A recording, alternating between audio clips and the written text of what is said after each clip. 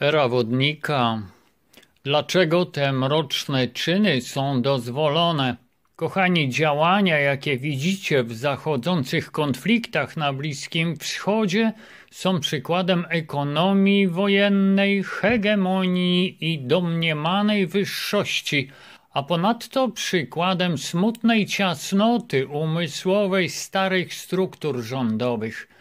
Ci ludzie próbują dalej kontrolować wydarzenia na Ziemi, chociaż oni już tracą władzę pośród potężnych energii przebudzenia spływających na Ziemię i pośród budzącej się zbiorowej świadomości.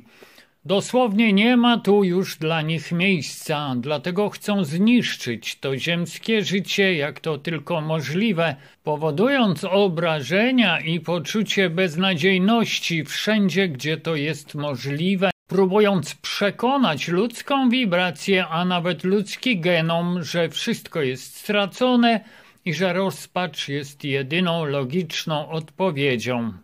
Jednak gdybyście mogli spojrzeć z punktu widzenia wyższego ja, to dostrzeglibyście, że ten obraz działań, bez względu na to, jak mrocznym i nie do pomyślenia by się on nie wydawał, że on tak naprawdę wynosi na powierzchnię wiele rzeczy w ludzkiej świadomości, które wymagają uzdrowienia.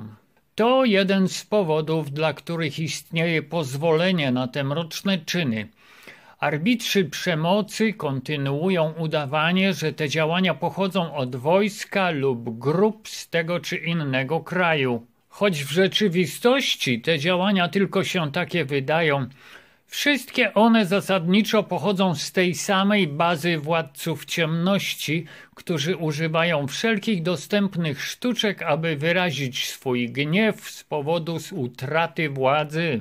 Uwolnijcie się od konieczności osądzania.